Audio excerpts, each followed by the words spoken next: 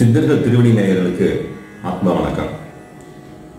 பிரம்மஸ்ரீ வஜ்ரம் ஜெயபிரகாஷின் மோட்ச சூத்திரம் அத்தியாயம் பதினாறு பகுதி மூன்று. சென்ற பகுதியில் நாம் ஏகாதசி விரதம் என்பது எவ்வாறு இருக்க வேண்டும் என்பதை தத்துவ ரீதியாக பார்த்தோம்.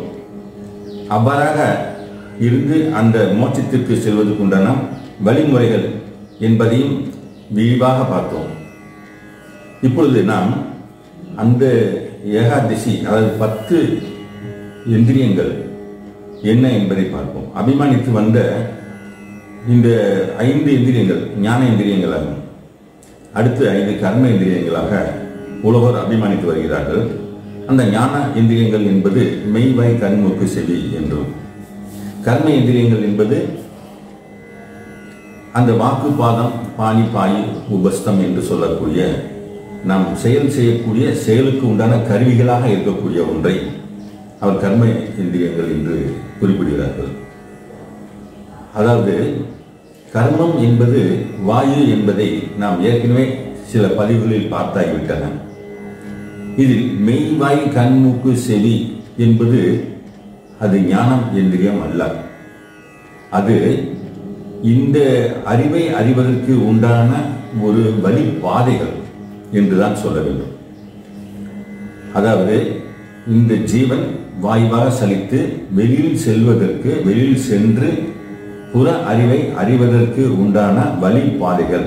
இது ஒரு ஜடம். இதன் வீட்டின் கதவுகள் என்றோ ஜன்னல்கள் என்றோ சொல்லலாம்.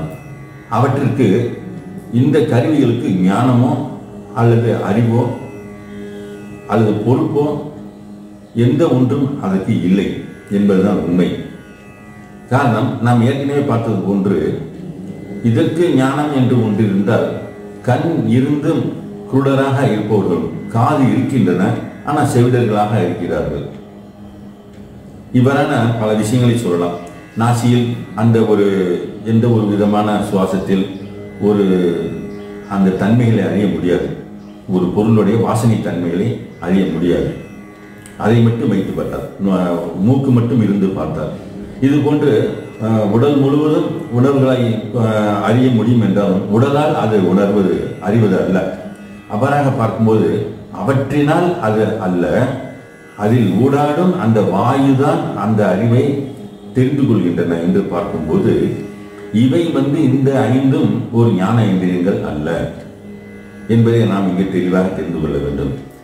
அடுத்து கர்ம எந்திரியங்கள் கர்ம எந்திரியங்கள் என்று சொல்லக்கூடியது வாக்கு பாதம் பாணி பாயு உபஸ்தம் என்று சொல்லக்கூடிய ஒன்று. அது செயல்படக்கூடிய கருவிகள். அது செயல்படக்கூடிய ஒரு கருவிகள். அந்த கருவிகள் இருக்கும் இடம் அது. அவ்வாறாக பார்க்கும்போது அதை அதை எவ்வாறு என்று பார்த்தோம்னால் கர்மம் என்பது வாயு என்பதை பார்த்தோம்.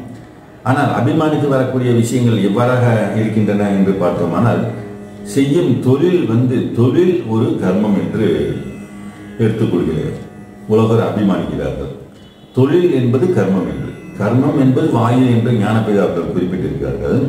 ஆனால் செய்யும் தொழிலை போய் ஒரு கர்மம் என்று சொல்வதற்கு அது சரியல்ல என்பதை அவர் இங்கே குறிப்பிடுகிறார்.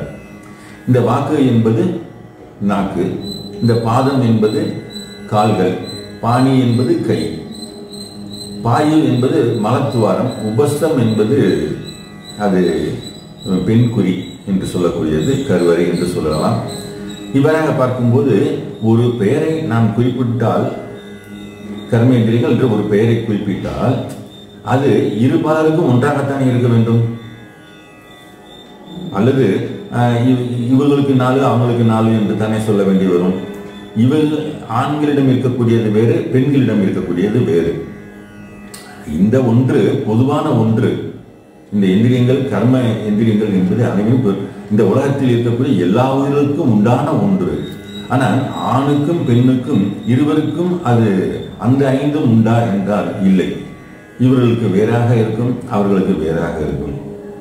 அதாவது அந்த மலத்துவாரம் என்பது பொதுவான ஒன்றாக இருந்தாலும் அந்த சிறுநீர் கழிக்கக்கூடிய அந்த அந்த துவாரம் என்பது ஆண்களுக்கு வேறாகவும் பெண்களுக்கு வேறாகத்தானே இருக்கின்றன.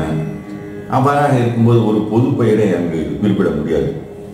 அதற்கு அடுத்ததாக பார்த்தோமானால் இந்த சிறுநீர் பாதையை வந்து லிங்கம் என்று குறிப்பிடுவது மிக தவறு என்று ஞானபிதா அவர்கள் கூறுகிறார். உலகர் பெரும்பாலோர் அபிமானித்து வரக்கூடிய இந்த தவறான செயல்கள் அது சரியல்ல என்பதை அவர் இங்கு குறிப்பிடுகிறார். சிறுநீர் பாதையை எவ்வாறாக நாம் லிங்கத்தை ஒப்பிட முடியும்? லிங்கம் என்பது ஈஸ்வர லிங்கம். அந்த ஈஸ்வர லிங்கம் என்பது ஆண் பெண் என்கின்ற இரு பாலரிடம் இருக்கின்றன. நாம் குறிப்பிடக்கூடிய அந்த சிறுநீர் துவாரம் தான் என்றால் அது ஆண்களிடம் இருக்கின்றன பெண்களிடம் இல்லை என்று தானே ஆகின்றன. அதை இந்த குதம் என்கின்ற ஒன்று அந்த நவத்வாரத்துக்குள் இல்லை. நாம் இவ்வாறாக இதை கணக்கிட்டால் அது நவத்வாரத்திற்குள் அல்ல அடங்கிவிடும்.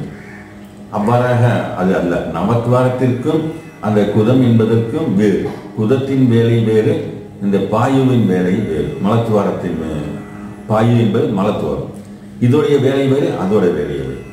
ஆக இருவருக்கும் லிங்கம் உண்டு. அந்த லிங்கம் என்ன? என்பதை நாம் சற்று யோசிக்க வேண்டும். இவ்வாறாக பார்க்கும்போது நாம் அபிமானித்து வரக்கூடிய இந்த தச இந்திரியங்கள் என்பது உண்மை அல்ல என்று என்பதுதான்.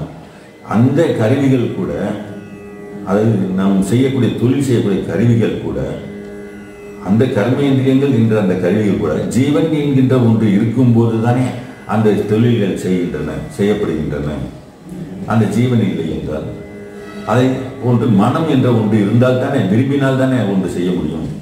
அவராக பார்க்கும்போது மனமும் அடிப்படையாக இருக்கின்றன. மனதிற்கு அடிப்படையாக வாயு இருக்கின்றன. வாயுடைய அடிப்படையாக ஜீவன் இருக்கின்றன. ஆக இதை விடுத்து நாம் தொழில் செய்யக்கூடிய ஒரு அந்த இடங்களை கொண்டு அந்த கருவிகளை கொண்டு அது கர்ம எந்திரியங்கள் என்று சொல்வது அவ்வளவு எப்படி நியாயம்? இல்லை. கர்மம் என்றாலே வாயு என்று தானே பார்த்தோம். அவ்வாறாக பார்க்கும்போது இந்த தொழில் செய்யக்கூடிய கருவிகள் கர்ம எந்திரியங்கள் அல்ல என்பதையும் இந்த லிங்கம் என்பது இருபாலருக்கும் உண்டு. அது எவ்வாறாக உண்டு? அதனுடைய தன்மை என்ன என்பதை தொடர்ந்து அடுத்த பதிவில் சிந்திப்போம். நேயர்களே. நன்றி. வாழ்வமுடன் வாழ்வமுடன் வாழ்வமுடன் இந்த பதிவு உங்களுக்கு பிடிச்சிருந்ததுன்னா லைக் பண்ணி ஷேர் பண்ணுங்க. மறக்காம சப்ஸ்கிரைப் பண்ணிடுங்க. மீண்டும் உங்களை சந்திக்கும் வரை அன்புடன் குன்னு வணக்கம்.